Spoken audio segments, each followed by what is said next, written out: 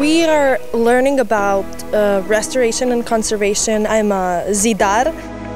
Patching up the wall down the bottom uh, to kind of make it more even. Facem restaurarea mobilierului la Castelul Banfi. Most konkrétan boltív építést tanultunk. Am învățat uh, să apreciem uh, vechiul. Vrem să învățăm cu adevărat ce înseamnă să lucrezi la o clădire istorică. Îmi place că um, aici totul e restaurat destul de bine, adică tot ce s-a făcut până acum e de calitate. M-a atras foarte mult locația, a fost unul dintre motivele pentru care am ales tabăra. It's really interesting that parts of it have been restored, parts of it are still ruined. Este o oportunitate foarte bună uh, pentru a face ceva frumos și pentru castel, dar de asemenea și pentru noi.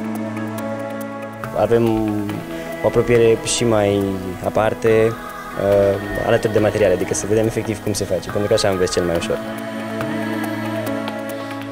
I work with historic buildings, but I uh, do lots of paperwork, so I don't have the technical knowledge, so it's kind of helped me understand and appreciate more. I think it's absolutely magical. Ez a kastély ez gyerekkorom óta a szívemhez nőtt. Hogy a végére tényleg egy felújított és jó állapotban lévő épület legyen, ez, ez nekem is nagyon fontos.